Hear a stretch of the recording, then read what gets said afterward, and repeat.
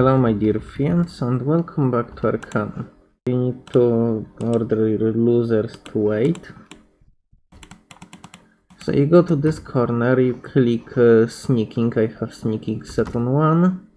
You reset your turns to have all the actions in the world. You select spell at maximum.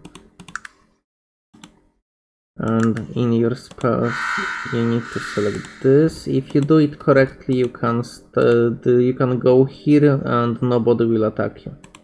Talk to this guy and start trading to identify items in, in his so they will show as identify not as mysterious you can uh, you can just start selling him his own scrolls back to him once he cannot offer you any more money you can just take the scrolls back.